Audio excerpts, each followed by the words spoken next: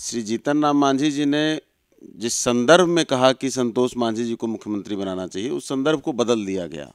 आप अगर देखेंगे उठाकर तो क्या है? समाजवाद का नारा जो है कि सौ में नब्बे शोषित हैं, नब्बे भाग हमारा है। जिसकी जितनी संख्या भारी, उसकी उतनी हिस्सेदारी। तो अब सवाल है कि जिसकी संख्या है, वो तो अपनी हिस्सेदारी चाहता है। वो बात मुख्य श्री जीतन राम मांझी जी ने नहीं कही है। वो बात उस यात्रा के दौरान जनता के बीच से आ रहा था। तो इतना जो मतलब सब, समाज के सबसे निचले पायदान का लड़का और वहाँ अगर उस मुकाम तक है, इस शिक्षा के सबसे उच्चतर स्तर पर है, वैसे लोगों को अगर ज़िम्मेदारी दी जाती है। नमस्कार, आप देख रहे हैं न्यूज़ फाउंडेशन और मैं हूँ सांत्वना, आपके साथ। पिछले करीब छह महीनों से बिहार में महागठबंधन की सरकार चल रही है, जहाँ सात दलों की साझेदारी के साथ नीतीश और तेजस्वी, यानी कि चाचा भतीजे की सरकार बिहार में बनी हुई है। और इस महागठबंधन के घटक दलों में से एक जीतन राम मांझी की पार्टी हम है, जो मुख्यमंत्री के साथ तो है, लेकिन जीतन राम मांझी इन दिनों मुख्यमंत्री नीतीश कुमार को लेकर और बिहार की सियासत को लेकर खासा मुखर नज़र आ रहे हैं। उनके उनके ताज़ा बयान की बात की जाए तो जीतन राम मांझी ने साफ़ तौर पर कह दिया है कि उनके बेटे, यानी कि बिहार सरकार में मंत्री संतोष मांझी को बिहार का अगला मुख्यमंत्री बनाया जाए, क्योंकि वो इस योग्य हैं पढ़े लिखे नेता है और उन्हें आगे आने का मौका दिया जाए। इसी कड़ी में आज हम बात करेंगे हम के मुख्य राष्ट्र प्रवक्ता श्याम सुंदर जी के साथ, जिनसे हम जानेंगे आखिरकार जीतन राम मांझी के इस बयान का मतलब क्या है और ये क्या पॉलिटिक्स है जो वो करना चाह रहे हैं। हम जो जीतन राम मांझी की पार्टी है वो क्या सोचती है बिहार की राजनीति को लेकर और खासकर मुख्यमंत्री नीतीश कुमार के साथ साझेदारी को लेकर। सबसे पहले आपका स्वागत है श्याम सुंदर जी हमारे चैनल पर। धन्यवाद।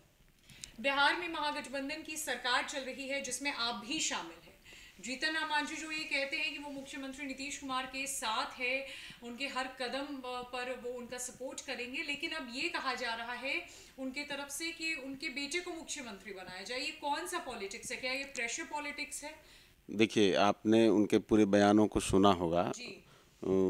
उन्होंने जो कहा उसमें एक लाइन उन्होंने कही थी कि प्रतीकात्मक होता है। राजनीति में कोई भी बात जो आप कहते हैं या कोई निर्णय लेते हैं तो प्रतीकात्मक होता है।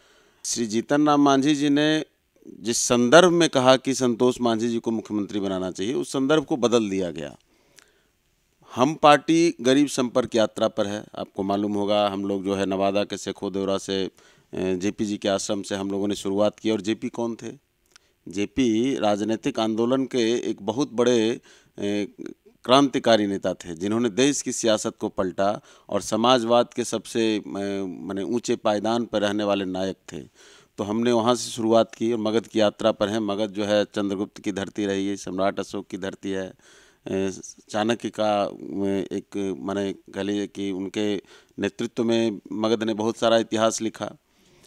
इसी क्रम में जब मुख्यमंत्री के संदर्भ में बात जनता से हो रही थी, कार्यकर्ता मिलते हैं, जनता मिल रही है, हम लोगों का जो पार्टी है वो गरीब से गरीब लोगों के बीच में जो लोग, जिनके रहने का घर नहीं, जिनको खा खाने का अनाज नहीं, जिनके लिए मतलब कहिए कि कोई व्यवस्था नहीं लोगों के बीच में भी रह कर करके वो एक वनवासी की ज़िंदगी जी रहे हैं, वैसे लोगों से भी हम लोग मिल रहे हैं। सत्तर साल के बाद, पचहत्तर साल, देश की आज़ादी का अमृतकाल चल रहा है तो इस अमृत काल के बाद एक वर्ग ऐसा तो है जिसको कि समाज के मुख्य धारा से अभी भी बहुत दूर है। एक बड़ी आबादी है। आप अगर देखेंगे उठाकर तो क्या है? समाजवाद का नारा जो है कि सौ में नब्बे शोषित हैं, नब्बे भाग हमारा है। जिसकी जितनी संख्या भारी, उसकी उतनी हिस्सेदारी। तो अब सवाल है कि जिसकी संख्या है, वो तो अपनी हिस्सेदारी चाहता है। वो बात मुख्य श्री जीतन राम मांझी जी ने नहीं कही है। वो बात उस यात्रा के दौरान जनता के बीच से आ रहा था। जनता के बीच से उठ रहा था। मंच पर किसी ने भाषण दे दिया, जो कार्यकर्ता हैं, जो वहाँ के लोकल नेता हैं, उनमें से आवाज़ आई कि हमारा बेटा संतोष मांझी क्यों नहीं मुख्यमंत्री होगा? तो वो तो जनता उनको अपना बेटा कह रही है ना। उसी क्रम में जब नीचे उतरे मांझी साहब तो पत्रकारों ने पूछ लिया कि आपके मन से अलग आवाज़ आ रही है। तब उन्होंने कहा कि आख कोई बात प्रतीकात्मक होती है तो उसमें उन्होंने कहा कि आखिर जो सबसे समा, निचले, अगर आप देखेंगे तो दलित वर्ग और दलित वर्ग में भी जो सबसे निचले पायदान पर माने जाते हैं, वो भूया जाति से आते हैं, मांझी जाति से आते हैं। तब उन्होंने कहा कि हमारा बेटा जो है, हम सबसे निचले पायदान से हैं और वो वहाँ से इतना पढ़ा लिखा नेट क्वालिफाइड पीएचडी किए हुए हैं डॉन बॉस्को से पढ़े हुए दिल्ली यूनिवर्सिटी से पढ़े हुए आज प्रोफेसर हैं गया कॉलेज में। तो इतना जो मतलब सब समाज के सबसे निचले पायदान का लड़का और वहाँ अगर उस मुकाम तक है इस शिक्षा के सबसे उच्चतर स्तर पर है वैसे लोगों को अगर ज़िम्मेदारी दी जाती है तो निश्चित रूप से जो सब, जो जिसकी बात लोग करते हैं बात तो सब करते हैं लेकिन जो हकीकत है कि जो उनके बीच से आया है वो मुख्यमंत्री अगर होगा तो लोगों को लगेगा और वाकई राजनीति में जो आप प्रतीक गढ़ना चाहते हैं, आप देखेंगे ना कि हम राष्ट्रपति का भी मतलब उम्मीदवार बनाते हैं तो उसमें भी जाति तलाशते हैं, जाति बताते हैं। बाजाबता अनाउंस होता है। तो ये क्यों होता है? ये इसलिए होता है कि जिसके नुमाइंदे वो हैं, जो सबसे समाज के निचले पायदान पर, जो हाशिए पर सैकड़ों सालों से है, उसको ये लगे कि मेरे बीच का भी कोई गया है। तो वो तो उसी संदर्भ में कर रहे थे। और कुछ हकीकत भी है इसमें कि समाज के सबसे जो निचले पायदान की बात हो रही तो वो कहाँ है? आपको तलाशना होगा ना। आज मैं तो आपसे भी सवाल करूँगा कि मीडिया को भी इस बात को पूछना चाहिए कि आखिर क्या आप देख लेना कि जहाँ आरक्षण है, जितनी सीटों पर आरक्षण है, उतनी सीटों पे दलित वर्ग का लोग की नुमाइंदगी है। जहाँ आरक्षण नहीं है वहाँ नुमाइंदगी है क्या? नहीं है। क्यों नहीं है? सवाल तो पूछना चाहिए कि बिहार से सोलह राज्यसभा सांसद जाते हैं, तमाम पार्टियों से, मैं, देखिए, हम लोग जो बात कर रहे हैं, वो केवल राजनीतिक बात नहीं है, वो सामाजिक बात है। समाज में इस बात की चर्चा होती है। सोलह राज्यसभा सांसद हैं बिहार से, एक भी अनुसूचित जाति, जनजाति से नहीं है। इसका जवाब कौन देगा? विधान परिषद के सदस्यों की सूची आप उठा लें, उसमें देख लें कितनी संख्या है। और सांसदों का जो चुनाव होता है छः के बाद सातवां टिकट भी किसी को मिलता है क्या? तो आखिर वो जो उनको उठाने की बात हो रही है, पचहत्तर सालों से उठाने की बात हो रही है, कैसे उठाया जाएगा? इसका जवाब तो लोग ढूंढ रहे हैं, लोग खोज रहे हैं। पर ये माना जा रहा है कि कहीं ना कहीं जीतन राम मांझी ने अपने इस बयान से तेजस्वी यादव पर निशाना साधने की कोशिश की है, चूँकि मुख्यमंत्री नीतीश कुमार ने सार्वजनिक तौर पर यह ऐलान किया है कि उनके उत्तराधिकारी तेजस्वी यादव होंगे। तो क्या तुलना करने की कोशिश की जा रही है कि संतोष मांझी चूँकि एक बहुत पढ़े लिखे व्यक्ति हैं तो उनका पलरा ज़्यादा भारी हो सकता है और चूँकि तेजस्वी यादव इतने पढ़े लिखे नहीं है, क्या ये भी कोशिश है आपकी पार्टी की तरफ़ से? नहीं, देखिए, ये ये उनका उनका मकसद ऐसा नहीं है। उन्होंने स्पष्ट भी किया है। ये कोई भी चर्चा जब होती है तो जिसकी रही भावना जैसी प्रभु मुहूर्त दिन देखें, तैसी लोग अपने अपने मन के हिसाब से बात करते हैं। हम तो कहते हैं कि जो भी मुख्यमंत्री के रेस में हैं, केवल तेजस्वी प्रसाद यादव जी रेस में ऐसा नहीं है। कई मतलब पार्टियाँ हैं और हर पार्टी चाहती है, हर पार्टी का कार्यकर्ता, हम आरजेडी के कार्यकर्ताओं की भावना को समझते हैं। जनता दल यूनाइटेड में भी एक चर्चा होती है कि नीतीश कुमार जी के बाद जनता दल यूनाइटेड में कोई नेतृत्व तो पैदा हो। भारतीय जनता पार्टी में है, चिराग पासवान है, वहाँ है, माले है, सब पार्टियाँ, कांग्रेस है सबको ही अपना तलाशता है।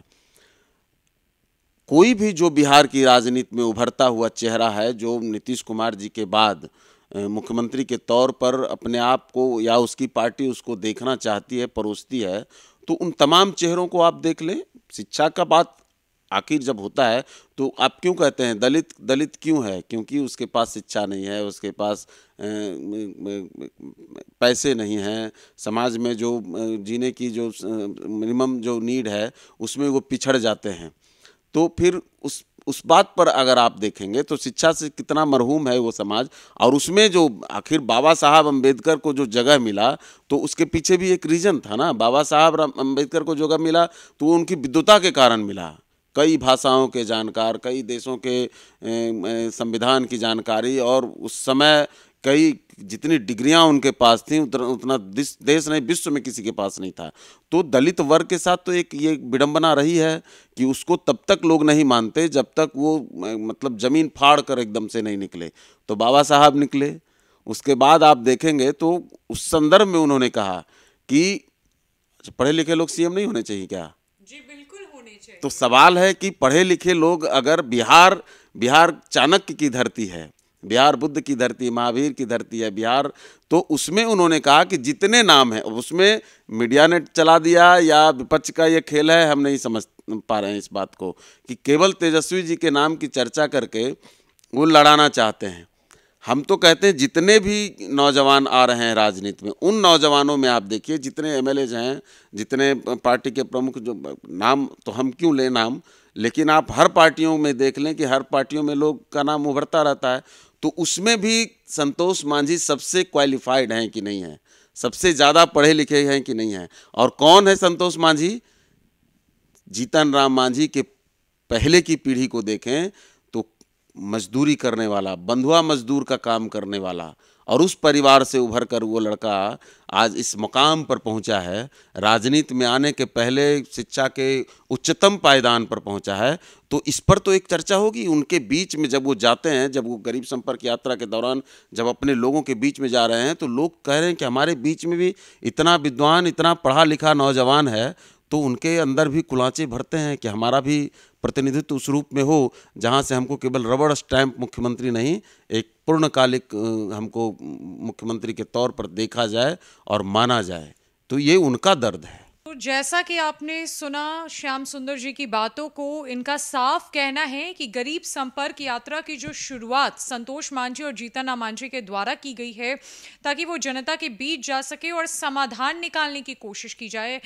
तो उस जनता की ये मांग है कि दलित जाति से आने वाले व्यक्ति के द्वारा प्रतिनिधित्व हो, बिहार का उन्हें मौका दिया जाना चाहिए। और संतोष मांझी चूँकि एक दलित का बेटा है और इतना क्वालिफाइड है तो आखिरकार उसे बिहार के मुख्यमंत्री का चेहरा क्यों नहीं बनाया जाए?